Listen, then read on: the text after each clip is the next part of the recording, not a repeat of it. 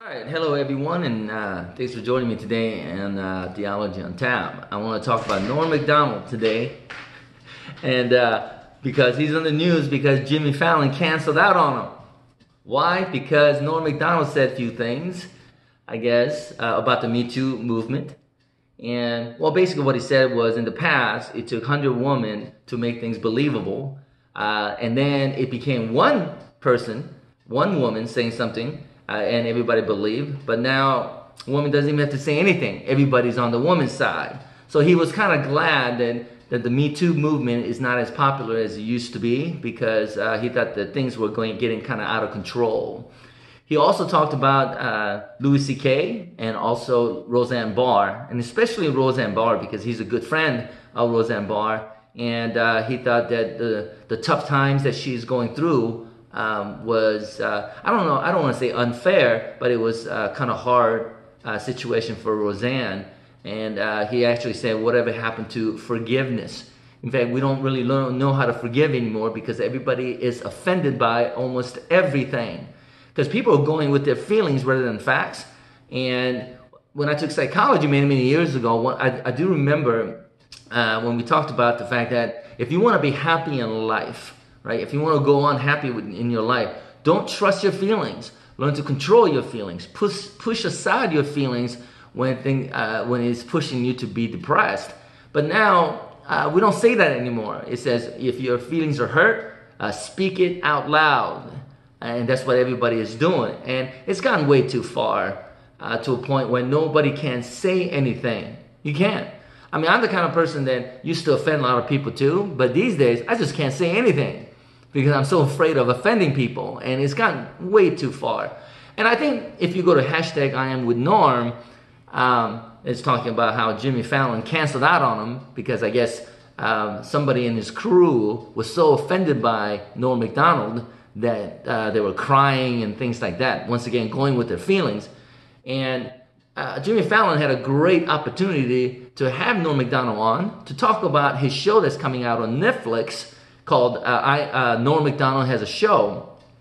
Um, Jimmy Fallon could have asked him about what he meant, clarify things, if you will, but he didn't do that. He canceled out on Norm.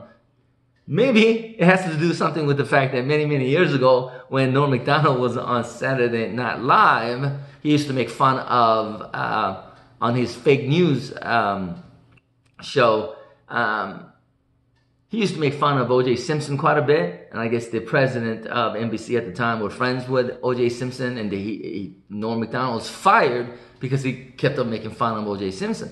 Maybe NBC still remembers uh, Norm Macdonald from that time, and didn't trust what Norm Macdonald would say. Maybe that's the case. I don't know. Well, in fact, I think Netflix is kind of worried about what Norm Macdonald would say too, because you know you got to remember Norm Macdonald is a Republican. He's a Christian. You know when he talks about Jesus, uh, he always says uh, Jesus Christ of Nazareth, the Son of God, which makes it really funny. Um, but he's a Christian, Republican, conservative and and uh, Netflix kind of told him not to talk about politics. Maybe Netflix is afraid that Norm Macdonald will be offending a lot of people because of who he is.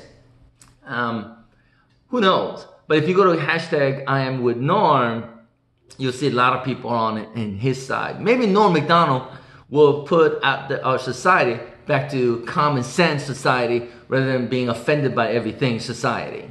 Like maybe Norm Macdonald is the one. He was on The View today, this morning, and even Whoopi uh, Goldberg was on Norm Macdonald's side. She was very understanding. I was surprised actually. I thought they were to hand it to him, but uh, they were very, very fair.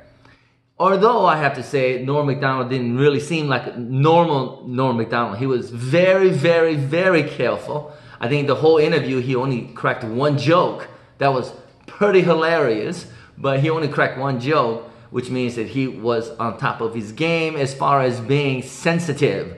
And I never seen Norm Macdonald that sensitive, so it didn't look very good, but he had to do what he had to do, I guess.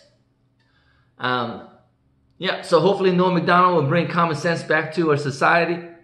I uh, hope that uh, his show will be tremendously uh, popular.